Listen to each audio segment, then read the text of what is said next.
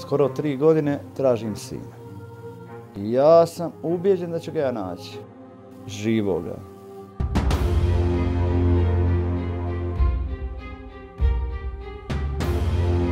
Ne mogu mi ga sakriti. Naći ću ga. Nije to igla. To je dijete, dječak.